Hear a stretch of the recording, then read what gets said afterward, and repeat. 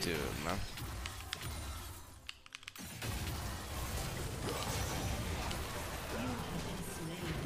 What is this Pyke writing?